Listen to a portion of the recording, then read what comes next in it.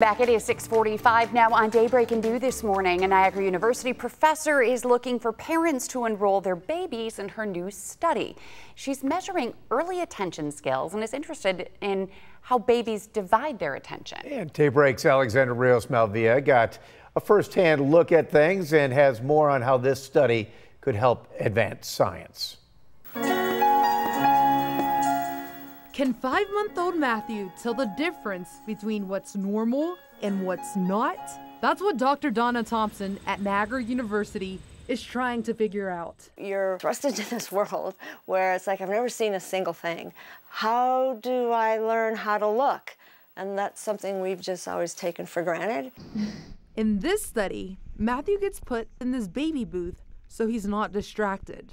I didn't really know what to expect. His mom, Marissa Murphy, gets to watch him the entire time on these monitors. It's opposite from us, so I always forgot that when we were watching which one he was actually looking at because on the TV it's like opposite from what he's seeing. In less than 10 minutes, Matthew sees over 40 moving shapes on these two computer displays. Could see each one twice depending on where he's looking.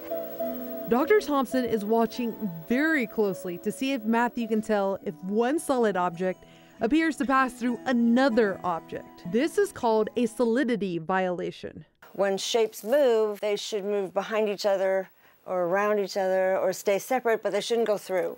After the family leaves, Dr. Thompson and her students go through the footage to see how long he looked at each video, but also how often he looked at each display. I think it's also good that parents get an idea of like what kinds of things their kids are capable of doing at every age. So, you know, what are the best kinds of toys? What kinds of interactions should I expect? It's an opportunity See, Marissa and her family just couldn't pass up on. Hi, Matthew. Dr. Thompson is still looking for about 20 more babies to participate. All the families who participate in the study get a gift card to a local grocery store. You can find more information about this study with this story on our website at WGRZ.com. Melissa Pete. All right. Thank you very much, Alex. Neat stuff.